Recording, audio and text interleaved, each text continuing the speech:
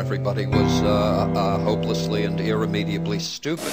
While the grape juice ferments, it produces CO2, and that lifts all the skins and seeds to the top of the vat, creating a really thick cap, um, hat.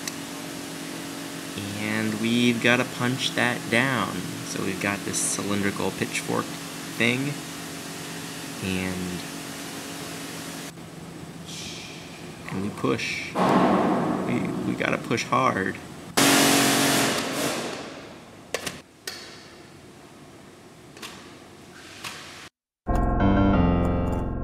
While a lot of vats only have a sort of small porthole at the top, uh, these tanks are designed with floating lids, or chapeau flottant, as the French call them.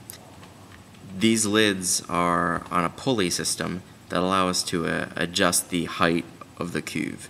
So if we want that tank to be half full, we can lower the lid to be half the size.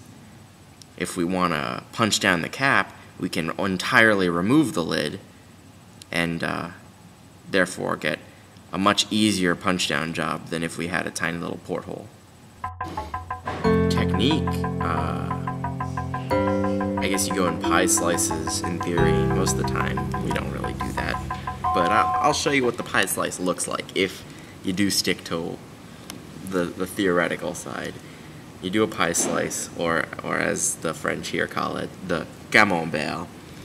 Um, and that wedge is supposed to make it easier because the walls will fall into it. In reality, nothing about this is easy. I don't think there's a whole lot more to say about the, the camembert, but uh, the more astute of you may have noticed that this is a large cuve, and the pigeur, the, the little stick we're using, isn't that long.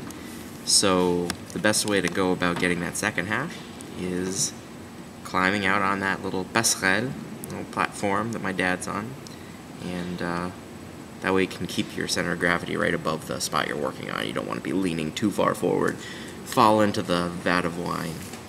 It's a good way to die, but we're not ready.